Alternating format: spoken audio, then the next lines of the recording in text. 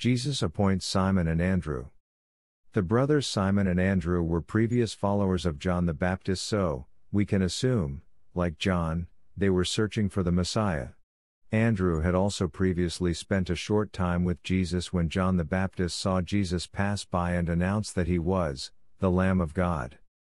As Jesus was walking by the Sea of Galilee and saw Simon and Andrew fishing, they were casting their nets into the sea. Jesus said to them, Come follow me, I will make you fishers of men. Simon and Andrew immediately abandoned their work and went with Jesus. Jesus changed Simon's name to Cephas, the Aramaic name for rock, which when translated to Greek means Petros or Peter.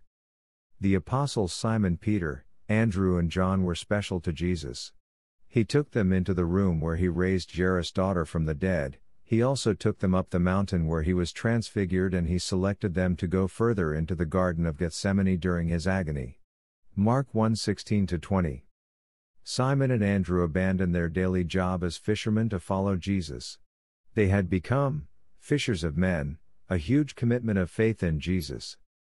Lord Jesus, help me to abandon my little indiscretions but never abandon you to seek your grace and blessings, and grow in greater faith for you.